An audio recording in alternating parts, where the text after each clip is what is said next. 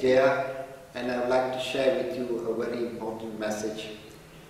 A message about a social inclusion agenda which we are proposing to tackle the problems of marginalization and poverty in our country. I will touch on three aspects of the SIA, Social Inclusion Agenda or the SIA in short. One, the context for the SIA. Two, the rationale. And three, the key features of the SIA which we would like to implement in this country. First, the big picture. The context we need to understand is the post-May 13, 1969, when the country needed to have a relook at the why and the wherefores of the formation of a nation called Malaysia. As a result of the May 13, two important documents were produced and they in essence encapsulated the vision of the nation to move forward. The first was the Rukun Negara and the second the new economic policy. The Rukun Negara is very important in that it spelled out the aspirations for the nation in a clear, concise document. And the NEP was to provide the socio-economic transformation for the nation based on the twin objectives of eradicating poverty irrespective of race and restructuring society to enable a better balance and equitable distribution of wealth. The five uh, aspirations clearly enunciated in the Rukun Negara were to bring about a united nation, second, to have a liberal approach to our diversity, and third, importantly, to have a just and equitable society to share the wealth of the nation in a more equal way. And fourthly, to have science and technology as a uh, way forward for the nation. The Rukun Negara's third aspiration of providing a just and equitable society and to share the wealth of the nation forms the essential backdrop for the social inclusion agenda. It clearly, the, the, the formulators of the Rukun Negara saw a need to have a more equitable and fair society in which the wealth of this nation would be shared. And the NEP, or the New Economic Policy, was implemented for this reason. However, over the past 40 years, while the aims were noble and the aspirations were honorable, our nation has faced a situation where there's poverty still exists and inequality in income is growing. In understanding why we need a social inclusion agenda, it is imperative that we understand the terrain we are talking about. Understanding the terrain means what is our population? We have a population of almost 28 million people and urban-rural divide about 65 to 35 percent. Most importantly, we have a very young population where the median age is 27.6 years old, which means 50% of the population is below 27 years old. And this means there's tremendous potential as well as possibilities of getting it wrong if we do not manage our resources and our whole system in a more rational and objective manner.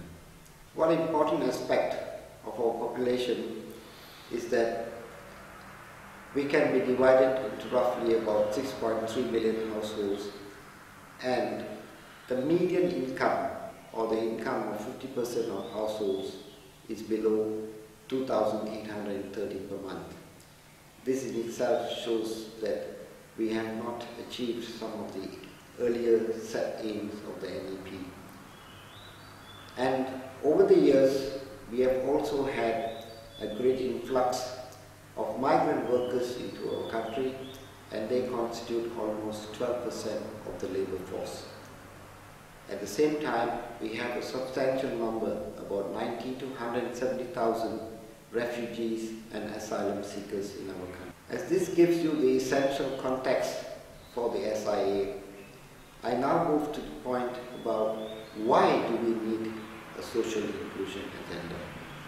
And there are three points. One, poverty is still very real in our country. Two, in income inequality is growing. And three, the current systems do not have, have great limitations and cannot solve the problem of marginalization in this country. I now would like to focus on what we call the poverty story. As many people will be aware, since 1970, the government has successfully reduced poverty from about 50% to about 4% in 2005. And this in itself is an incredible achievement. However, we are talking in terms of reduction in absolute poverty.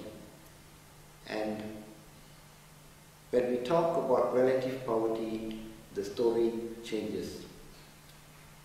According to government statistics, in which they use to measure poverty is a poverty line income. And this poverty line income is based on $2 per capita or $2 per person per day. And it translates into uh, a poverty line income for a household on a monthly basis on a region and, and by regions. First, for Peninsular Malaysia, the government's poverty line income is $763 per month. And for Sabah, it is 1,048 per month. For Sarawak, is $912 per month.